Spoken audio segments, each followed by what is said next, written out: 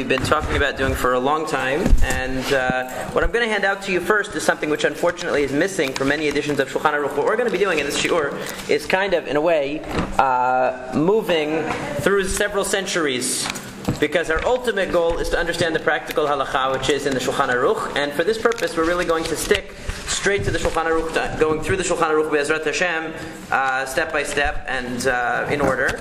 And the Shulchan Aruch was written in the 16th century by somebody named Maran Harav Yosef Karo, who is, uh, if you could just hand that around, who wrote the Shulchan Aruch. First, he wrote a, a book by the name of the Bet Yosef. The Bet Yosef is a commentary on an earlier work. So really, the, the, the work that everything is, is based upon is a 14th century work called the Tur, the Tur or the Arba'at Turim, which was written by Harav Yaakov Ba'al HaTurim. A couple of centuries later, Harav Yosef Karo, who is also known as Marana Bet Yosef, wrote a commentary, a lengthy commentary called the Bet Yosef. That's where he got his nickname. And this commentary uh, spans basically the entire Arba'at Turim. What the Arba'at Turim was, was the first attempt to codify all of practical Jewish law that's relevant in contemporary times. And it was, it's a massive work, it's a very significant work.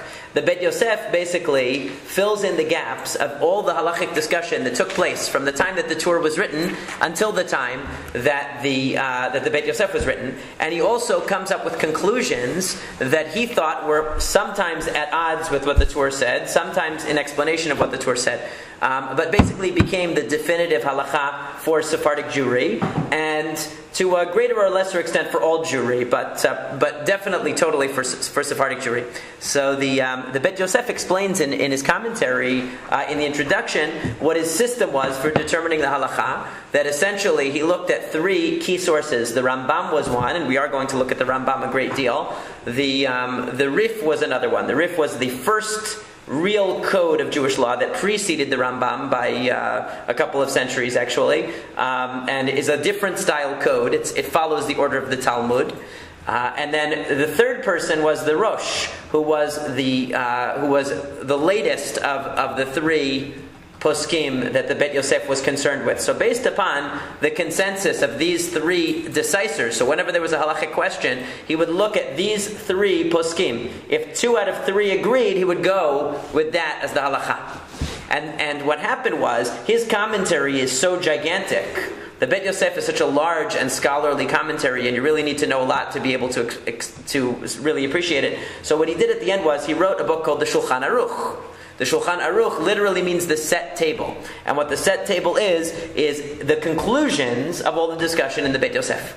Now, these conclusions were placed into the same format as the Tur, which means that just like the Tur has four sections, that's why it's called the Arba'at Turim, the four sections of the Tur are Orach Chaim, which is daily life, Yoreh De'ah, which is basically ritual laws, Kashrut, family purity, and many other things that don't fit into any of the other categories, pretty much. Even HaEzer, which is marital law, and Choshen Mishpat, which is civil law. So these are the four categories. Now, this is different than the Rambam. The Rambam is all of the 613 mitzvot, even the ones that don't apply today. In fact, probably the majority of content in the Mishneh Torah of the Rambam doesn't apply today. But that doesn't matter because the Rambam's purpose was totally different than the Shulchan Aruch's purpose. The Shulchan Aruch's purpose was to provide a practical guide to halacha, to everyday life. So he doesn't need to talk about korbanot. He doesn't need to talk about the Beit HaMikdash because we don't have that today. The the uh, Rambam, on the other hand, was trying to give a comprehensive understanding of the entire Torah, uh, which from which, of course, halachic conclusions could be drawn. But his purpose was to give a comprehensive explanation of the entire Torah, in which case he has to in- include both the things that are applicable today and the things which are not applicable today. And in the Shulchan Aruch, though, we don't have that anymore. We only have the things that are applicable today. And the reason for the method that we're going to be using in this shiur, it's all based on an even later work, which is by the Ramchal, which incidentally is a very worthwhile book to get. This book is called Derech Chochma by the Ramchal. Rabbi Moshe Chaim Luzzatto, the same person who wrote the Mesilat Yesharim, he's more famous for that than for this. Um, it's an amazing book. It's, as many of the works of the Ramchal, it's a dialogue between a teacher and a student and the teacher and student are discussing what is the way a person should structure their learning and their growth in life. What should they do first? What should they do second? What should they avoid? What's a waste of time, etc. And it's a short book, actually. The, the only reason why it's this thick is because this edition has so much commentary. But it would really be a tiny little book if it were, if it were only the text itself. And he gives an outline of how to learn halacha. And he says basically a person should learn the Rambam, learn the Shulchan Aruch, and when they contradict, he should go and look at the Bet Yosef's long commentary and figure out why. He said that's really all an average person needs to know. Anything beyond that is for the advanced student. And halavai that we even knew that much. You know, most people don't even know close to that much. So he says that's really the, the basics. He says, of course, that's, that's aside from knowing the entire Tanakh, all the Midrashim. He gives a lot of other material that one needs to know. And he has a whole guide of how to get from the basics to the most advanced areas of, you know, Kabbalah and metaphysics and areas that we're not going to touch upon. But just in terms of his system for learning halacha, it dawned on me at a certain point that it's a very simple and it's a very clear way that that anybody can really learn. Anybody can learn this way. If we don't get distracted by the commentaries and sort of sidebars that come up in halakha, and we stick with the straight Shulchan Aruch and Rambam, we can learn a great deal and very clearly and very succinctly. And that's going to be the goal. So what I just handed out to you is unfortunately omitted from many editions of the Shulchan Aruch, which is his introduction. Now we're not going to read the entire introduction, but I'll point out to those of you who know Hebrew that it's written in rhyme and in lovely uh, uh, poetic uh, form. It's all, uh, it's all made of, uh, uh, of uh, you know, a sort of poetic uh, phraseology. But basically, he talks about how he took the Bet Yosef, which was his extensive commentary, and is filled with all kinds of um, source material and all kinds of discussion and all kinds of analysis. And he said to himself that I want to take the best of this. I want to take the conclusions of this. I want to take the bottom line of this and make a book. And what he says is that I want to have a situation, so that everybody, he says that all the Jewish people can have a knowledge of Torah to the point that when somebody's asked a question, lo gemba, he won't have to stutter over it. Ela yomar he can say to wisdom, you are my sister, which is a phrase from the book of Proverbs, the book of Mishlei, which means to say, to be so familiar with the halacha, that it's so clear. And he says that's the goal. Kishem as the Talmud says, just like it's clear to you that your sister, you can't marry your sister, so too should every halacha be clear to you. And he says, because I want my book to be fluent in his mouth because it's Banui Letalpiot. Banui Letalpiot, the Gemara interprets this pasuk from Shir Shirim. What does Banui Letalpiot mean? Tel Shakol Ponimbo. It's a pillar to whom all the mouths turn. In other words, if everybody turns to the Shulchan Aruch, we'll all have a fluency with the halacha. Lechalakol Lechalakim Shiloshim. And the remarkable thing was, the, the, the, the original concept that nobody follows today is, he said, he envisioned the Shulchan Aruch being divided into 30 parts, only 30. Why? Lilmod bo b'chol yom That a person could read one thirtieth of the Shulchan Aruch every day, and thereby each month review the entire thing. And he says, and for the students, they would continually review this and go over it in more depth and understand the basis for it. But the, the main idea is that everybody should have a handy guide. That's why the Shulchan Aruch is very different from the Rambam. The Shulchan Aruch is written with an eye to practicality. So what's it going to start with? It's not going to start like the Rambam's book with the fundamental beliefs of Judaism. That's not the first thing you need to know practically. Practically, the first thing you need to know is what do you do when you wake up in the morning? And that's exactly how the Shulchan Aruch is going to be structured. So that's the first sheet. Good sheet to have because, unfortunately, I went searching and it's omitted from a lot of the uh, from a lot of the text of the Shulchan Aruch. But the um, the positive is that now on Wikipedia they have these you know these Wikitext uh, functions on Wikipedia. Now, if you have Hebrew Wikipedia, you can get the entire Shulchan Aruch. It's not done yet, but somebody's keying in the entire Shulchan Aruch, the entire Tur, the entire commentaries on the Tur. It's amazing, and you can just like cut and paste it, which is what I did with that page. I just cut it off there and I pasted. Kitzur Shulchan Aruch was written by an Ashkenazi much in the 19th century. It's much later. That's Shlomo Ganzfried. Total no. No, totally different book. Kitzur Shulchan Aruch is written by Aruch HaShulchan is also 19th century. Aruch there's they're both 19th century. Uh, uh, the the Kitzur Shulchan Aruch was written by uh, uh, by an Ashkenazi rabbi, Rabbi Shlomo Ganzfried. It's the Kitzur, that's why people like it, but it's a totally different, totally different. And the Aruch HaShulchan is actually a very good work that explains the Shulchan Aruch in depth, and it's very good. But also 19th century Ashkenazi uh, work. What is uh, the Rama's work? The Rama's work is called is the technical name for it is the Mapah. Okay, so he he and the this is the page we're going to do now. He and the uh, Beit Yosef were both working on. They both wrote commentaries on the Tur, and they were both working on their summary works. And the Beit Yosef was first.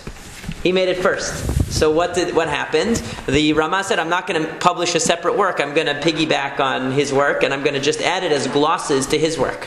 And that's why it's that way. Instead of it being a, that's why it's called the tablecloth. The mapam means a tablecloth. So instead of having a separate table, the Shulchan Aruch, ah. every table needs a tablecloth, ah. doesn't it? Right to cover it over where he made where quote unquote he made mistakes or he omitted the Ashkenazic view because definitely the Shulchan Aruch is very clearly a Sephardically biased work. It really mainly, although in the Bet Yosef he brings Tosafot and he brings the Ashkenazic commentaries, but in the Halacha, the, the, the leaning of, of the of the Halacha and of the Minhagim that he records is almost exclusively Sfaradim. Isn't that, a, isn't that just a function of the fact that That's who he was. well, but not just that, but he's Beit Din. The Rosh, the Rosh is not a Sephardic. Yeah, but he was he was for a Sephardic community. Yeah, Well, that's a whole other historical thing. But I mean, yeah. Yeah, I mean, I guess one would debate. Somebody could debate whether the Rosh was as worthy of his Rosh was as worthy of his uh, uh, uh, of being included as the other two because he wasn't a genuine Sfaradi and maybe But- you know. But he was purpose was to include an Ashkenazi. no, no, no, no, no, no, no. Definitely not. No, I think that the, the reason why he included him was because he saw him as another So when the Rosh, when the Sfaradi. Yeah. made, made uh, Even though he was ethnically Ashkenazi, he he was the Rabbi- Rosh. Of, yeah, of, uh, he was the head of a Sephardic community, and well, uh, what was the purpose? But that, um, so when he gave, so when the Rosh gave uh, the Halacha, he he gave it based on their uh, Based on the- their minhagim. Yeah, yeah, yeah, for sure. I mean, the, even the even the Tur for an Ashkenazic Yeah. work, the Tur includes a lot of Sephardic minhagim, and the reason why he knew it was his father was the Rosh, was the Rosh. and so they lived in a Sephardic community, even though they were Ashkenazim. So they had the best of both worlds, pretty much, because they lived in a Sephardic community, but they kept their uh, personal minhagim. Now, this is a great Shulchan Aruch, by the way, and this is the one I copied it from. It's it's a de- it's designed to learn the entire Shulchan Aruch in one year um, by splitting it up into a daily amount of Shulchan Aruch, and it's minukad, which means it has nikudot, and it's very easy to read, and uh, it's it's just the Shulchan Aruch, and he has a nice piece in the beginning called uh, Kuntris Zeh Shulchan, where he talks about why the Shulchan Aruch is so important and why it's worthy of studying. Very interesting. In any case, that's what I printed this from. So let's take a look at the Shulchan Aruch Orach Chaim. This is Hilchot Hanhagat Adam Baboker, the practice, the halacha of a person in the morning. Siman Aleph. This is the very first siman of the Shulchan Aruch. And what is the very first halacha? Now, the Shulchan Aruch, just to orient you. So, as I mentioned, there are four sections of the Shulchan Aruch. These are the big sections: Orach Chaim, Yoreh De'ah, Even Ezer, and Choshen Mishpat. These are the four big granddaddy sections. Within each one of those sections, it's subdivided into categories. So, for example, um, the first is Hilchot Hanhagat Adam Baboker. What does a person do in the morning? Then there's going to be, for example, Hilchot Shabbat. There will be Hilchot Tefillin. There will be Hilchot Tzitzit. There are sections within Orach Chaim. So the first one is Hilchot Hanhagat Adam Baboker, Siman Aleph, and this is chapter one. Now, the chapters don't change as you move through sections. So, for instance, the first, this Siman Aleph is going to be talking about Hanhagat Adam Baboker, the practice of a person in the morning. By the time you get to Siman number 11, it's talking about Tzitzit. So the section name changes, but the numbers don't start over in every section. So in a way that's easier to keep track of where you are than if the numbers started over in every section and you had to find out what chapter of what subsection of what section you're in all the time. So it makes it a little bit simpler that way. So Siman Aleph Din Ashkamat Boker Ubo Tet Seifim. So the way it's set up is that the chapters in Shulchan Aruch are called Seifim. I'm sorry, are called simanim, and the halachot are called seifim. This is different than the Rambam. When we look at the Rambam, we're going to see his chapters are called perakim, which is more of a name for a chapter, and his halachot are called halachot. Here, it's simanim and seifim, which sort of means like sections and parts of the section. Part 1. Section 1, Part 1. So there are nine seifim.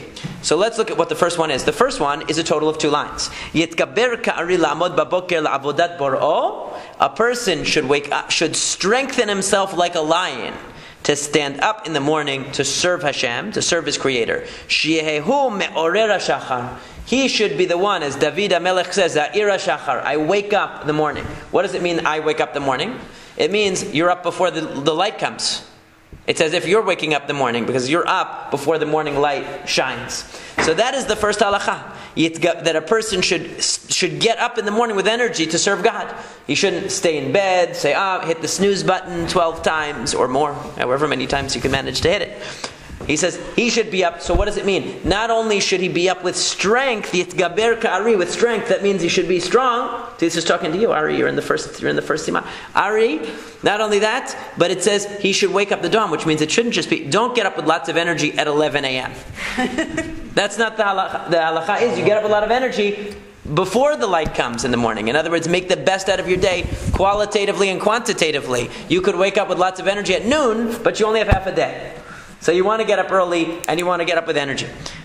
That's the first halacha. Now, this small print here is the, are the words of Rabbi Moshe Isserlis. Rabbi Moshe Isserlis is a, was a Polish rabbi who was slightly younger than, but contemporaneous with the author of the Shulchan Aruch, who's often called the Mechaber or Marana Bet Yosef. So the, the Rama is what he's called Rabbi Moshe Isserlis, and he is the Ashkenazic voice who would have been a separate Shulchan Aruch, but instead decided to write his points as glosses on the Shulchan Aruch.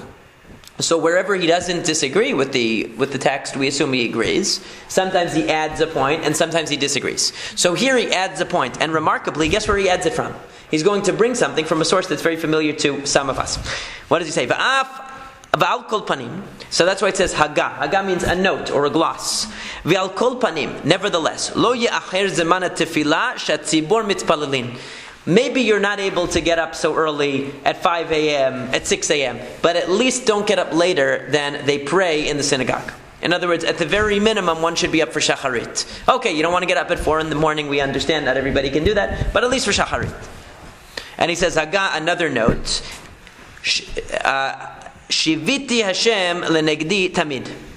I place God before me always. This is a very famous verse from Tehillim. What does it mean? Hu kilal gadol Torah. This is a great principle in the Torah. And by the way, anybody who recognizes where this is from, before we get to the end where it tells you it's from, they get a special door prize.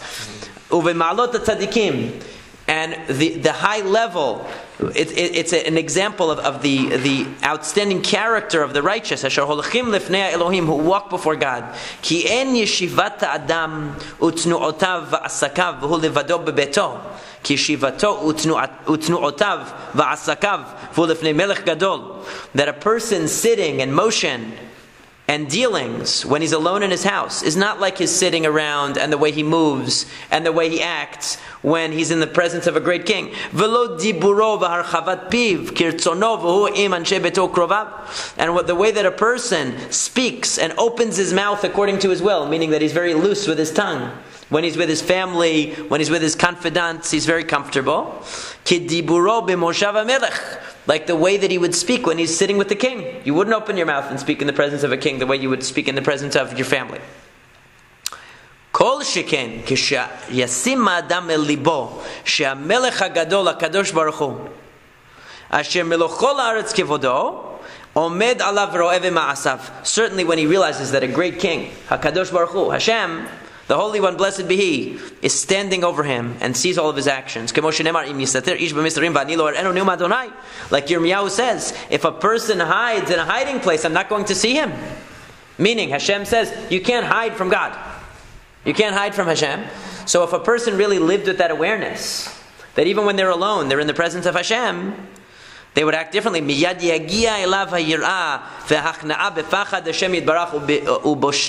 tamid. And that's from the Moreh Nevuchim. Isn't that funny? So it took the Ashkenazi to quote the Moreh Nevuchim from the Rambam in the first Alacham Shulchan Aruch. And the Ram, it's ironic because the the Moreh Nevuchim was somewhat of a controversial work in its time, and yet it's in the first Seif of the first Siman of the Shulchan Aruch is the Moreh Nevuchim, which was the guide for the perplexed by Maimonides which was his very deep philosophical work. So, what does he say? Immediately, a person will feel fear and humility before Hashem and embarrassment before Him when he thinks that, you know, what I'm doing is I'm in front of Hashem. So that's so. This ties in, of course, with what what the Maran opened up the Shulchan Aruch by saying the first thing you need to know in the morning is how to get out of bed. And how do you get out of bed? You get out with energy, and you get out on time. You go raring to go because you want to make the best use of that day to serve Hashem. And the, the Rama adds that this is a, an awareness that should be with the person all the time, that they're standing before Hashem, that everything they do is, is part of their relationship with Hashem.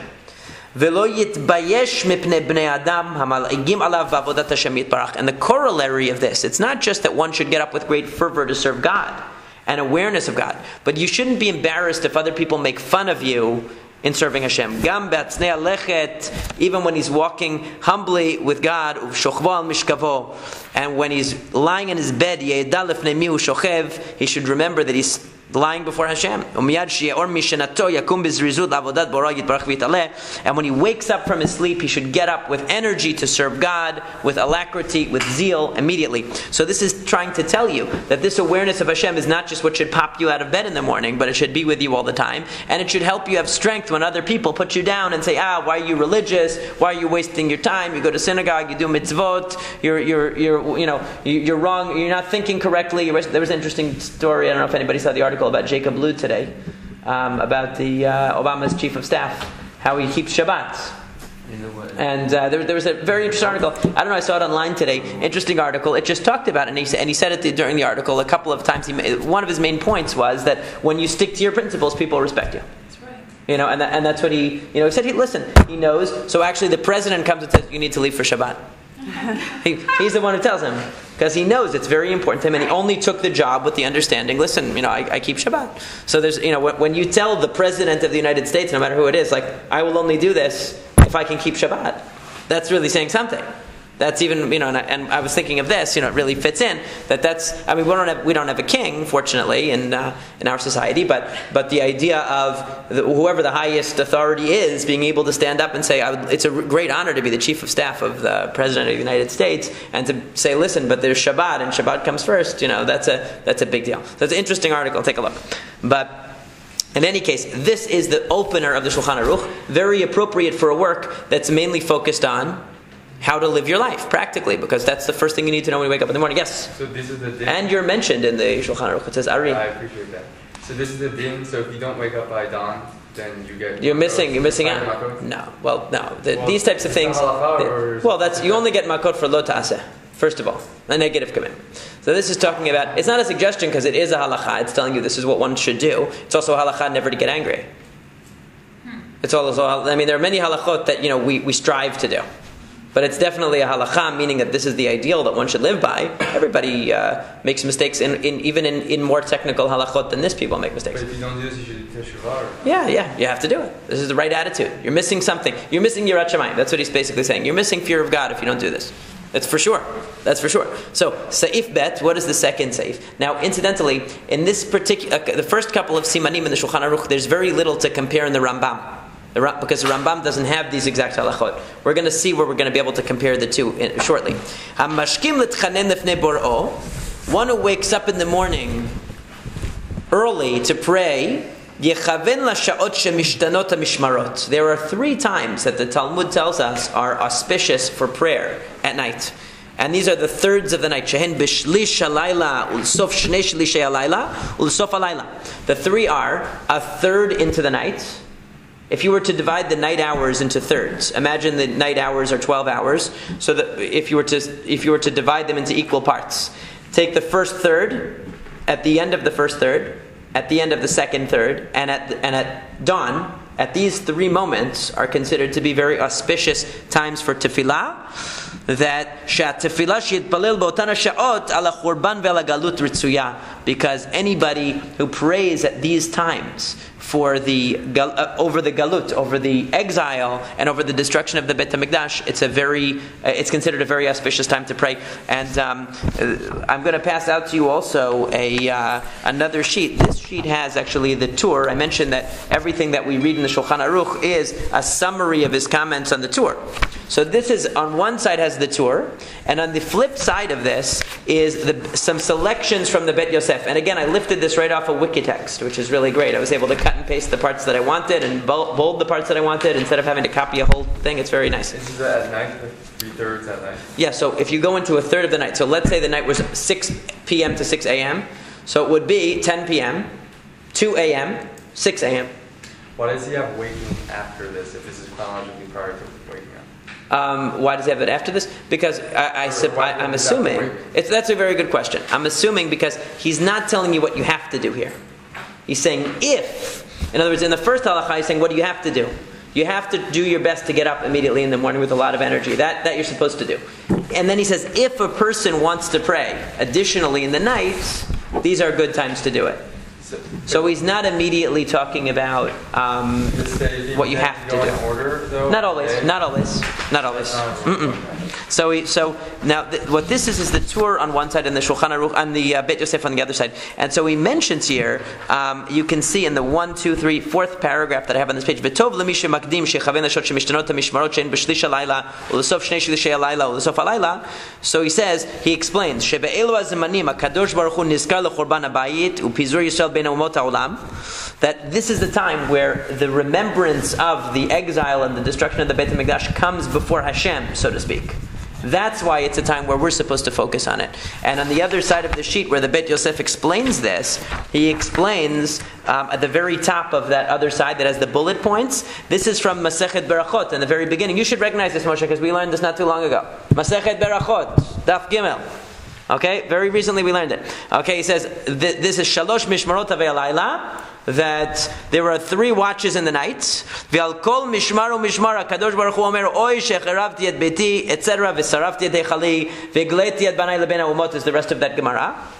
So what it means is that at these three times Hashem says, "Woe is to me that I destroyed the Beit Hamikdash and I burnt it and I uh, exiled my children and I wish they would come back." And so therefore the, the Rosh says, he says, "Katav Rosh, Ra'oi lechol yirei shamayim shemetzer v'doeg b'ota sha'a." That since you know that that's a time where the significance of those events comes before Hashem, so to speak, therefore that's a time where a person should think about the destruction of the Beit HaMikdash as well. Now, what does it mean that it comes before Hashem? Basically, because there's a concept of these three mishmarot that now we don't know if these mishmarot, if these these um, these mishmarot, these watches, correspond to something metaphysical, or they correspond to something astronomical, or they correspond to the Beit HaMikdash, which also had mishmarot of Kohanim all night long. But whatever they correspond to, the point is that at those moments, Hashem recognizes what's missing from. In, in other words, at those the other time it says that Hashem rec- remembers the destruction of the Beit Hamikdash is whenever we say Kaddish and we say Yehesh Me Rabba Mevarach, Hashem says, "Look at how my people praise me and the destruction of the Beit Hamikdash." In other words, at those moments where we would feel the greatest connection to God are the times where it's most obvious how distant we are from God. So it's those moments where we're praying with the greatest kavanah that Hashem says, Think about what they could have had if they had the Beit HaMikdash. Think about what could have been. And at those watches in the night where the Kohanim would be in the Beit HaMikdash and they would be changing watches, or where the Malachim are, are alternating their watches in some metaphysical sense, that God recognizes what's missing down here on earth, that we're, we're in an imperfect state. And, uh, and similarly, in the book of Eichah, says, Kumi Roni Balayla, that you should call out to God in the night that uh, that this is the time to uh, uh, to to cry over the destruction of the Beit Hamikdash, where we feel the most lacking um, of the presence of Hashem. Is this supposed So- to correspond to the tikkun of Yeah, uh, Tikkun Chatzot is something else. See, Tikkun yeah, Chatzot comes later. And, uh, Right, that's another. Those tikkunim are uh, later. Um, well, we'll see more about them later. But in Seif Gimel he says, "Ra'oi lechol yirei shamayim shemetzer v'doeg al churban beit hamikdash." This is just a general principle that, and and he says that a person, it's proper for somebody who fears God to be sad and distressed over the destruction of the beit hamikdash, meaning. It's the corollary of what we said before that if a person really desires to serve God with all their energy in the best possible way, they should feel pain at the fact that we don't have the ideal way. That we're in the diaspora, that we're in the galut, that we're in the exile, and we don't have the opportunity to serve God. And even if we lived in Israel today, we wouldn't have the full opportunity to serve God the way that He w- wanted us to serve Him. So, there- uh, together, when a person feels the greatest energy and enthusiasm for the service of God is when he feels the greatest pain of the absence of the service of God or the, the diminishment of the service of God. Just like on the holidays, when do we pray the most for the, re, the rebuilding of the Beit HaMikdash? It's on the holidays because we realize we would be going as, for a pilgrimage to Yerushalayim to the Beit HaMikdash, and instead we don't have that anymore. So we feel the absence the most keenly at that time. Seif Dalet says, now that's why this is at the beginning of the Shulchan Aruch. He's setting the tone. He's saying a person should have a great passion for the service of God, and passion, just like if you love a person, then when they're absent, you feel the pain even more. If you don't care about a person, then when they're absent, you don't really care. But if you love a person, then at those moments when you're thinking about the distance from that person, you're going to feel the greater pain. So when somebody has passion for serving God, they're going to feel the distance as well. Tov me'at bechavana, me'harbot. These are all general principles, okay? And very important. It's better to do a little bit with kavana than to do a lot with no kavana we don't value quantity over quality. If a person can do the basics of tefillah and skip a lot of the extras, and he knows that he'll be able to have more kavanah skipping the extras, why rush through with your, your jaw moving so fast that it's becoming numb, reading the prayers, when you have, your brain can't register a quarter of what you're saying because you're in such a rush to finish? Better to skip parts that you're allowed to skip and just focus on the core parts of the tefillah. And, we're not going to focus exactly on what those parts are. That's a whole other shiur. But the general principle is very important. Don't add on, you know, people, they read a lot of Tehillim. I would rather see a person read one Tehillah uh, per day and understand what they're saying. Most people, they read a lot of Tehillim and they just read it. But it's better to read a little bit and to actually have kavanah to understand what you're saying. That's much more of an art. That's much more difficult to do than to add on additional. We have so many mizmorim, so many in the Psukei de Zimran, Shabbat, it's so long. Psukei de Zimran Yom Kippur is so long. Actually, this year, I sat down before Yom Kippur and I went and I studied each one of those mizmorim. I said, we read this every year once, one time. You know, we're in a rush. I never get to understand what half, you know, I, I always wonder as I'm reading it, I wonder what this, I wonder what Rashi says about this, you know. I never have time to really look at the commentaries and, it, you know, during Yom Kippur, there's no time. So it's something where you need to, to try to in, in, inject some quality into the quantity. So now he comes, and I want you to notice how many things that he gives as midat chasidut, many things that the Shulchan Aruch is going to say are nice to do, have become fixtures in the Siddur as absolute. Okay? Let's take a look. So he says, Tov lamar parashat akedah. It's nice to say the Akedah. What's the Akedah? The story of the binding of Isaac. Now, yeah, if you if you look in Shacharit, so that's the very first thing in the in the main body of Shacharit. After the blessings of the morning in our Siddur, after the morning blessings, I have to say, which come later um, the Akedah is going to be there. Now, it's interesting because chronologically this would be out of order. The first thing we should really be talking about is the blessings you say in the morning first. And it should be talking about Birchot HaShachar and Birchot Torah, the blessings on the Torah that you have to say. He doesn't go for that. He first focuses on this very, and it's, it's remarkable because the theme is the connection between our service of God and the Korbanot. Because notice, he mentioned the, the zeal of service of God, and, and then he mentioned feeling the absence of the Bet HaMikdash, and then he starts talking about things that mainly revolve around korbanot, as we're going to see, around sacrifices. So he says a person should mention the akedah, Uparashat HaMan, which we don't have in our Sidur, but many Sidurim have that. Have the, the, the parasha from Parashat Bishalach, the section that talks about Hashem bringing the man, bringing the manna to the Jews in the, in the wilderness. It's mentioned in the Yerushalmi that somebody should read that every day. It's mentioned in the Talmud Yerushalmi that a person should read that every day because it reminds them where their parnasa comes from, where your sustenance comes from God. Okay, so, so it's a nice thing to do. Va'aseret dibrot. It's meritorious to read the Aseret dibrot every day, the Ten Commandments every day. But then, he, and that's not in our Siddur either. Uparashiota olah.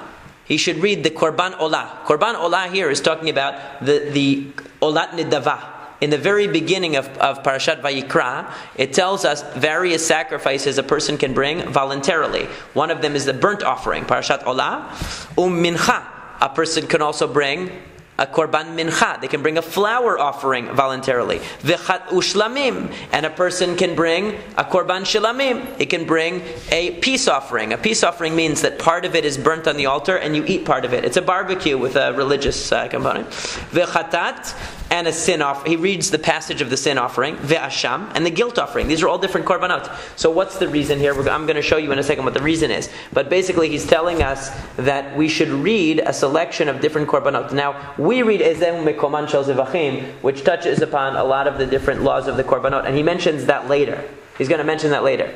But right now, he's basically telling you to read a great deal of stuff.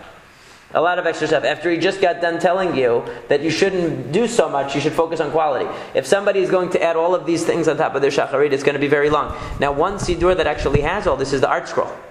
The ArtScroll has the ma, the Parshat Haman. It's not a Sephardic siddur, but the ArtScroll has the Parshat Haman. It has the not Haman, the bad guy, the man, the, the man.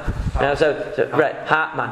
So the, um, the it has that. It has all of the different korbanot, the olah, the chatat, the shilamim, all the different kinds of korbanot it has in there. And he says that now the, the Rama mentioned something very important here, which the which the Maran doesn't disagree with. He says, he says, "V'davka biyachid mutar lomar aseret hadibrot b'chol yom." Only a person by themselves can say the Ten Commandments every day. But you're not allowed to say them communally. Communally, you're not allowed to say them. And this is based on the Gemara. The Gemara tells us in Masechet Berachot also that they used to say the Ten Commandments every day as part of the service before they said the Shema. Because if you look in the Torah in Parshat V'etchanan, the Shema comes right after the mention of the Aseret HaDibrot, right after the mention of the Ten Commandments. So they used to say the Ten Commandments every day. But what happened? Heretics said, "Oh," and what? But what they meant by heretics were was what? What group? The early Christians. The early Christians actually said, "All that matters is the Ten Commandments." And what's the proof? Even the Jews only they say the Ten Commandments every day. So obviously we're right. Only the Ten Commandments really count. That's all that matters. And as long as you keep the Ten Commandments, you're good. And forget about the other 600 and some odd commandments that are left. Just keep the Ten. So therefore, they said you're not allowed. They, they abrogated that. They prohibited saying the Aseret Dibrot as part of the daily service because they didn't want people to come with the wrong impression that the Aseret Dibrot is from God and the rest of the Torah is not from God, which is what many Christians believe that the Ten Commandments came from God. The rest of it, you know, we can we can work around that. We can reinterpret it. But those Ten Commandments, they they're definitely holy. That's the way that they thought. So they didn't want to. That's the same reason why the Sephardic custom is we don't stand even when we read the Ten Commandments on Shavuot. Even when we read it in even when we read it in Parshat Yitro, even when we read it in Parshat V'etchanan during the year, we don't stand for the Ten Commandments in Sephardic synagogue. And the reason why is because they asked the Rambam in a famous responsum. They asked the Rambam, "Should we do this?" And he said, "Absolutely not." It's prohibited to stand for one part of the Torah and not other parts. Why? Because obvious why. Because a person's going to see that and say, oh, that's really the important part. Everyone's standing. I guess the rest is not really as holy. It's not really as much from Hashem. It's not really as important. I'm not going to pay attention to it. So we don't want to reinforce that perspective. So privately, it's nice to say the Aseret HaDibrot every day, but Publicly, it's not allowed. So these are obviously, when he says Tov Lomar, it's nice to say these things. Is he saying they're required? No. Very important distinction to make nowadays, where anytime any book says something might possibly, maybe, or maybe not be good, all of a sudden everybody thinks you absolutely have to do it. So just to make the point, he just said it's nice if you have extra time. He says, Parashiot hakorbanot lo yomar el bayom. Since sacrifices could only be given during the day, we should only say these parashiot of sacrifices during the day. So, for instance, if a person gets up very, very early, especially at these times of the year where it's possible, uh, until the time changes maybe, for somebody easily to get up while it's well before dawn, um, even if you get up at uh, 6 o'clock, it's probably before dawn now. Um, if a person gets up at that time and wants to say the korbanot of the morning early before they come to synagogue, I sometimes do that Um, you shouldn't say the korban tamid. You shouldn't say the korbanot part because the korbanot part is not daytime yet. Um, כשיסיים פרשת העולה יאמר, יהי רצון מלפניך שיהיה זה חשוב ומקובל כאילו הקרבתי, הקרבתי עולה, וכך יאמר אחר פרשת המנחה והשלמים, מפני שהם באים בנדבה. A person should say, if they say the korban olah, if they say the passage about the burnt offering, or they say the passage about the peace offering, or about the mincha, the flour offering, they should say a prayer after saying it. They should recite, may it be God's will, that this reciting of the passage is as if I offered the sacrifice.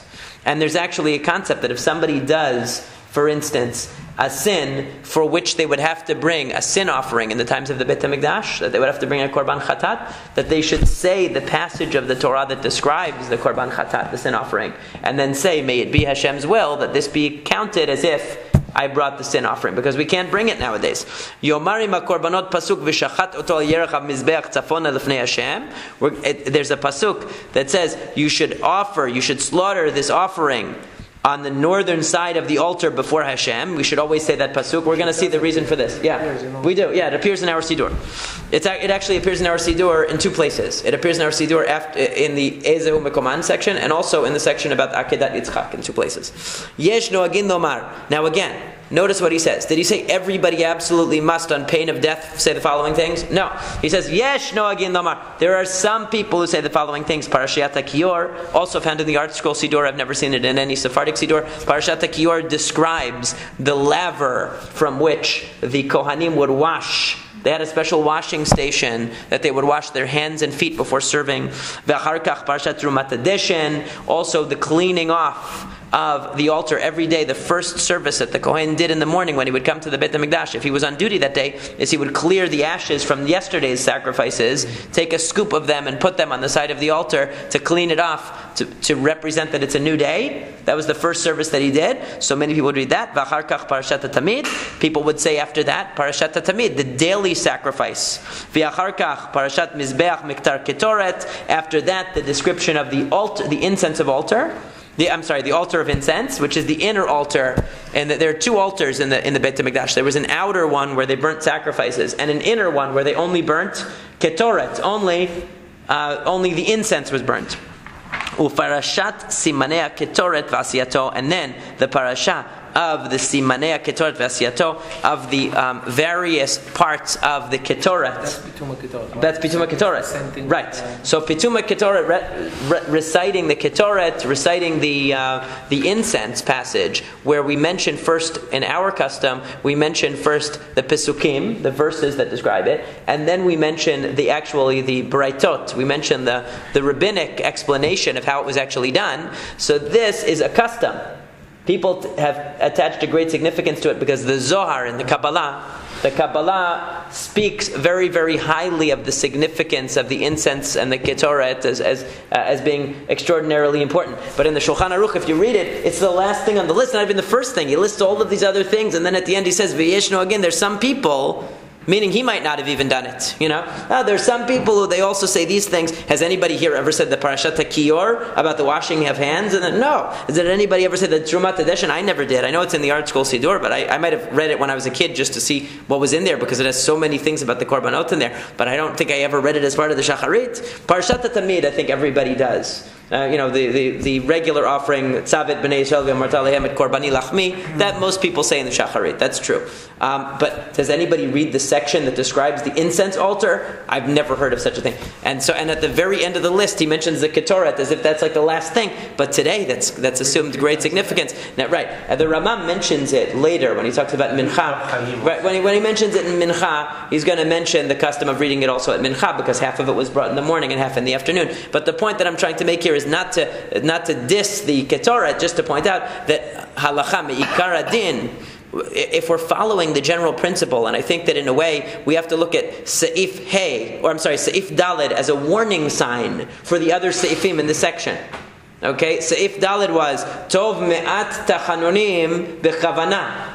Meharbot belo chavana, which means better to have a little bit with a lot of concentration than a lot with no concentration. That's like a warning sign. And then he says, here's all the things that some people add into the tefillah. Okay, and then he gives you a list of things in the tefillah that most people don't say, but some people do. What's the point? He said, if you have time that you can really read this with kavanah, kol kavod, do it.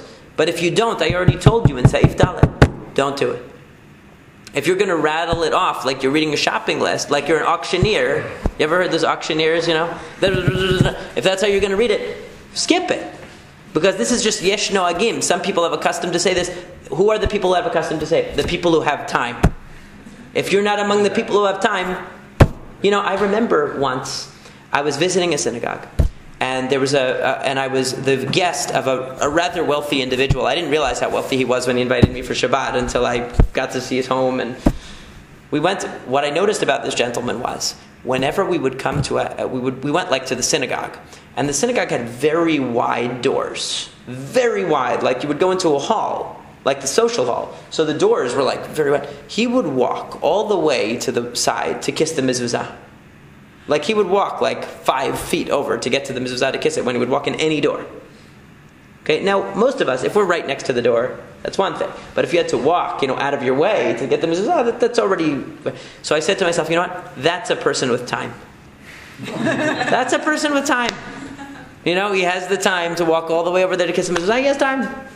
Not everybody has that time. He has time to say all these things. Everybody else, I'm not so sure. Yes, what did you Does say? the Rambam talk about his korban? Ah, so I wanted to get to the Rambam. He's on the other side of this sheet. Yes, so Sheldon, before we go to that. My understanding Yeah. Of the word yipalel means to. Mitzpalel means to judge yourself, to self self evaluate is the best term. It doesn't even mean just to think. It's a specific type of thinking. But, and so ironic that, that we all rush, we think we're accomplishing something by rushing through the prayers because we have to punch, you know, we have to punch the card that we, we appeared or we Yeah. did, but there's no point to it if you don't think about what you're saying. How about this? Instead, instead of prayer being self judgment, it becomes a self indictment.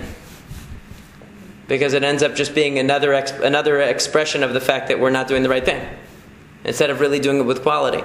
It should be a self judgment that really you're thinking and reflecting on who you are and where you stand. And in order to do that, honestly, you have to budget your time. Because if we spend a tremendous amount of time adding things to the prayers in the beginning, then when we get to the core prayers, we're already worn out. We already don't have energy for it anymore. We're already in a rush. You know, and, and that's why it's important that we try to budget our time and budget our focus. Because a person, most people have a limited quantity of attention span that they can spend on the tefillah, and we want to spend it where it's most important. And that's during the Kriyat Shema and the Amidah mainly, and the and the and the middle part of the Psukei de Zimra, from Ashrei to the Hallelujah. Those are the key mizmorim. Those are the key parts you want to do. The Shema with the Barachot and the and the Amidah and the Tachanunim right after the Amidah. Those are really the core, core, core things. If you can have kavanah during that time, and maybe even you know if you can have kavanah for the Ashrei and Uva LeTzion at the end, that's even better. But beyond that, I mean, who can have kavanah for an, uh, 20 minutes of korbanot before? Yeah, that's important. I'm just trying to say that these are the important parts where you should try. Like the Rambam writes to one of his students in a letter. He asked him, "How do you reach the highest level of perfection?" And it, uh, he said, first of all, you just pay it for the first couple of years. Just pay attention to the Shema, the Tefillah, and the Kriyat Torah." He said, "Really? That's all I have to do." He said, "Yeah, just kind of, just pay attention when they're reading the Shema, pay attention when you're reading the prayer, the Amidah, and pay attention when they're reading the Torah in the synagogue. That's the first step to becoming a great tzaddik." And he's talking to one of his top students, meaning that he realizes this guy's not doing that, and most people are not doing that. The basic kavanah.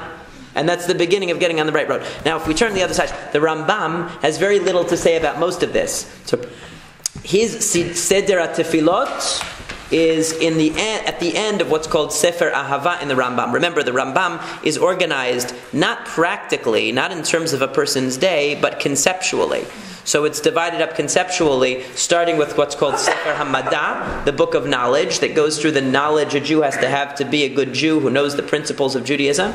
And then it gets into what's called Sefer Ahava, the book of love, which talks about the mitzvot that remind us of Hashem continually, like saying the Shema, like saying the Tefillah, like saying, like wearing tzitzit and tefillin and so on. So that's how it's organized. At the end of Sefer Ahava, he has Seder Tefillot, which is the order of, of prayers. And what does he say in the beginning? He says, "Na'agua am likrot b'chol yom b'shachar achar parshat tzav u'birkat kohanim." Korin Mishnah Zoh. He says, "Oh, what we have in the morning is this is all he had for korbanot. Par- Parshat tzav is the korban tamid.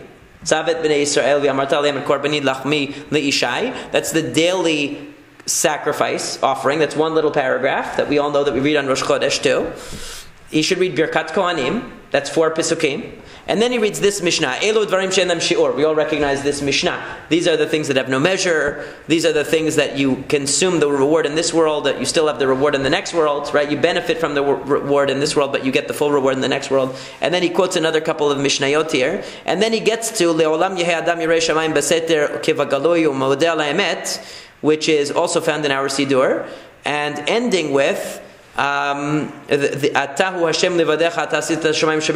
Tzivaam, which is also in our Sidur, that little piece, although we have a different version of it. We have a, a little bit of a different version of it. So basically, in the Rambam's view, it would be a very short korbanot. He doesn't have any of the other stuff. He doesn't have the Akedah. He doesn't have Ezehu Mekoman Shel Zevachim. He doesn't have Rabbi Yishmael Omer. He doesn't have any of the large sections that we have in our Korbanot section. He would tell you, just say the Korban Tamid, which is a little paragraph, Leolam Yehe Adam, which is also, which is a lengthy paragraph, but a, a very worthwhile one that ends with the Shema. And Atahu Shema Elohim, which is right after that mini Shema that you say in the Brachot section, and that's it. That's all you would have. After that is Baruch She'amar, according to the Rambam.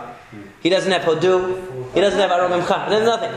And if you look at it, yeah, if you look at the Sidur of the Temanim, that's what they have. Aaron would be very happy. The Sidur of the Temanim doesn't have Hodu Lashem Kiru Vishmo. It doesn't have Arom Imcha. It doesn't have Mizmor Shir Chanukah Tabai the David. It goes right to Baruch She'amar. It's very short. Follows the Rambam. Now, now the, the contemporary Temanim, though they added a lot of extra stuff, but you know the the real purists, they're right. The real purists, they still follow the original way. Um, they have a totally different Tachanunim also. It's very interesting, Very actually. Yeah, I used their tach- I used their Sidur for a while just to get to know it a little bit, to, to learn the, their tefillot. Very interesting and pretty much very close to what the Rambam has here. Um, as you could see, it would be a very short uh, Birchot HaShachar that would last just this one column here, and that would be it. So the Rambam doesn't have much by way of korbanot. That's why I said he doesn't have much to compare to the Shulchan Aruch here. But I did want to point out in the previous sheet just where the Bet Yosef explains why the korbanot are important. So we do understand that. Let's just take a look at that. Um, why the Akedah is said, and we're going to conclude with that. Why the Akedah is said. Why do we say the binding of Isaac? Why is that important? And why is it important to say the korbanot? So where it says Uparshat Akedah, says Kedei lizkor zechut HaKadosh Baruch Hu. That he says the reason is to remember the zechut avot. To remember, we're on this page that has the bullet points on it. To remember the the uh, merits of our forefathers, and also to humble ourselves. That we should be as willing to give ourselves over to the service of God as Yitzchak Avinu was willing, or you could even say as Abraham was willing to sacrifice his son. So a person should have that type of commitment and devotion, and also should remember the zechut avot. Actually, the Rambam mentions in the Moreh Nevuchim, he also mentions that one of the fundamental principles of the Torah is that whatever we have, it's because of zechut avot. Whatever we have, don't think that you're so deserving of the blessings that you have. It's because of the, the merits of the earlier generations that we have what we have. And that's why we always mention that in the prayers. We always say the God of Abraham, Isaac, and Jacob. We always rem- we always mention the merits of Abraham, Isaac, and Jacob because we don't feel entitled to demand anything from God on our own merit. Even Moses, even Moshe Rabbeinu, says in the Gemara that you notice the humility of Moshe Rabbeinu. He doesn't say save the people because of me. He says, what about Abraham, Yitzchak, and Yaakov? What about you, Moshe Rabbeinu? You're not good enough. Uh, he doesn't mention it. He says Abraham, Yitzchak, and Yaakov. Even he realizes he wouldn't be there if it wasn't for Abraham, Yitzchak, and Yaakov. So certainly we should feel the same way. So that's why we mentioned the Akedah. Then it says, what is the reason for Parshat Korbanot? So he quotes a, uh, a, a Gemara from uh, Ta'anit, from Masechet Ta'anit, that says, Amar Abraham lefnei HaKadosh Baruch Hu, that Abraham said to the Holy One, blessed is he, Shema Yisrael what if the Jewish people sin before you? And you destroy them like you did to the generation of the flood. How do I know? How can you guarantee me? As we're going to see, actually, it's in this week's parasha. Abraham says to God, "How do I know I'm going to inherit anything? How do I know this is going to come true?" And what he meant was not that I don't believe you, I don't trust my children. How do I know that my descendants are going to be such great righteous people that you're going to fulfill the promise? He says, Amar lo lav, he says, don't worry, that's not going to happen. So Amar lo, he said. How do I know it's not going to happen? Amar lo, Hashem said to him, "Kechali egla mishuleshet." So then Hashem says to Abraham, "Bring a sacrifice." What do the sacrifices symbolize? That means that when the Jews stray, they'll be able to find atonement by bringing sacrifices and doing teshuvah, repenting. So what does Abraham say? He says, "That's good." Amar lefanav, ribono shel olam. Very nice. Tenach bezman shebet hamikdash kayam. Remember, Abraham was the first Talmudic scholar, so he even asked questions like the Talmud. That makes sense when they had the Bet HaMikdash. What about now? Bisman shein Bet HaMikdash kayam? Alehem. What's going to happen when they don't have the Bet HaMikdash like today? Does that mean we're lost? We can't bring korbanot? So what does he say? Kvartik amar lo kvartikanti lahem seder korbanot. I've given them the order of korbanot. Shekol zeman shen korin behen. Whenever they read the korbanot, I'm going to count it as if they brought the korban. And I'm going to forgive them all of their sins. In other words, what's the idea? Korbanot are not about the physical performance. True, the physical performance has an impact. It has a significance. It has a power to it. There's a reason why God wanted us to bring korbanot. It, it has, a, it has a, uh, a significant influence on us, and it has a power to it and an impact that reading doesn't have. But really, beneath the surface, the korban is a symbolic action. The korban is only as good as the meaning behind the korban. So what God is saying to Abraham is, true, they won't have the physical korbanot, so maybe it won't pack the same punch that the actual korbanot or the. Imagine going into the Beit Hamikdash. It has a. I mean, even going to the Kotel, we don't have a Beit Hamikdash. It has an amazing you know, psychologically and, and spiritually and emotionally, it has a tremendous power to be in that place. Even though it's not even with a Beit HaMikdash. Are you closer to God there than anywhere else? Of course not. God is everywhere. God is nowhere and everywhere. He's, he's metaphysical. He's not limited to a place.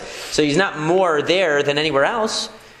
But there's a but for the person who's standing there to be at the Kotel, to be in the Beit HaMikdash was a tremendous a, a, tremendously powerful and inspiring experience. So certainly the korbanot physically would have an impact, but we can still retain a connection to the korbanot by reading and studying and understanding the meaning of the korbanot. And that's what God said to Abraham that even though right now, uh, there will be times in history where they don't have the physical korbanot to offer, they can still read the korbanot and relate to the message, the idea behind the korbanot, study the laws of the korbanot. One of the things that I've uh, been able to to pick up is that from studying the laws of the korbanot because I always had a fascination with it. I don't know why, but I always had an interest in it because we people don't appreciate how just like every area of halacha is very sophisticated and deep. Korbanot people look at it as so arcane; they don't get into it. But if you really study the laws of korbanot, it's it's amazing. I mean, it's profound. The ideas, the halachot, it's just as sophisticated as anything else in the Torah. The way that the Torah formulates the korbanot is, and, and integrates and interweaves these ideas and, and the message of the korbanot with the structure of how they're done. It's really amazing. And even you can learn from Torah Shebichtav, even if you read the Chumash and the commentaries, why the sacrificial service is conducted the way it is. You see the depth of it and the profundity of it, which shouldn't be understated. So we really can learn a great deal. And when you when when the when the Gemara talks about reading the korbanot, it doesn't mean a superficial reading. It means to try to understand it. It means that you should understand the korbanot, and by reading in the passage, you're reminding yourself of the idea that you learned. So to really appreciate the reading of the passages of Korbanot, or any or the Akedah, or any of the other things we read in the prayers, you really have to have studied them and given it time to you know to be able to, to understand the depth. Every one of these verses that we read in that we read thousand verses a day in, in the in, in the prayers, and every one of them, every word of every one of them has so much to tell us that we don't have time to, to hear. So if you really study it, then when you read it, it reminds you, it evokes those ideas again. And that's the concept that Hashem was telling Abraham in the Midrash that the people might not have the physical korbanot, but if they study the korbanot and they read those passages of korbanot, it can be a, a substitute for the korbanot because they can connect to the same idea and theme that the korban had. Now we have also here, he mentions. Um, Similarly, Vamrinan besof menachot, it says in Masechet Menachot, Amar Rabbi Yitzchak, Rabbi Yitzchak said, Mai dichtiv zot Torah chatat. What does it mean? This is the Torah chatat. This is the Torah, the instruction of the chatat, of the sin offering. Why does it use the word Torah? Vizot Torah Asham. This is the Torah of the Asham. Torah is a word that means instruction, but why does it use that word? Kola osek betorat chatat anybody who studies the Torah of the sin offering. In other words, he studies the ideas, he studies the halachot. Kol b'torat. By referring to it as the Torah of the asham. That means that by learning about the asham, by learning about the sin offerings, you, in a way, benefit as if you offered the sin offerings. And that's what he says at the end. Omnam Parsat Korbanot Tov Yotel Om Rabbayom. This is quoting the Tur. So he mentions the Korban Tamid and why, and he mentions at the bottom here the. Uh, uh, that the, there's a source in the midrash for reading the special pasuk of Vishachat oto. We said we read in the Shulchan Aruch that he said you should always read this verse Vishachat oto al yerech hamizbeach tzafona. That you should that the uh, kohen will will slaughter the offering to the north of the mizbeach. That the midrash says that this verse is also a reference to Akedat Yitzchak. That's why we read it also after the Akedat Yitzchak. It's a reference to the binding of Isaac that the sacrificial service should remind us that we don't sacrifice human beings. We sacrifice substitutes, we sacrifice animals, but they evoke the zechut of Abraham, who was willing to sacrifice anything that God told him. Even though God doesn't want human sacrifice, He rejects it. It's, a, it's an abomination because we don't believe that any human being can die for anybody else uh, or be the possession of somebody else that they have a right to sacrifice. We don't have that concept. But we remember Abraham's devotion when we bring korbanot, and that verse, according to the Midrash in Vayikra Rabbah, is a reminder of that concept. So what we see um, is that from looking at this first Siman of Shulchan Aruch, we walk away with a lot of great ideas, the right attitude towards divine service, both the positive attitude a person should have, and the feeling of being bummed out, being frustrated that we don't have as ideal of a situation as we wish we could have. The idea of budgeting our time and our kavanah, make the most out of your prayer by studying the prayers, understanding the prayers, so that you can maximize what you get out of the prayers. Don't overdo the amount that you add. Don't try to say everything if you know that by budgeting your focus, you can get more out of limiting and narrowing um, the amount that you say. And then he talks about the idea of studying the korbanot and how understanding the korbanot, since the prayers are a substitute for the korbanot in many ways, and the prayer service is well, all that we have. We say that our lips should pay, should, should fulfill, or should fill the place of sacrifices. So uh, in that way, our and we know that the, the three tefillot of the day and the musaf the, the prayers that we have are, are in a way uh, fixed in their respective times to represent the sacrifices, to quote, not replace them, but to represent them.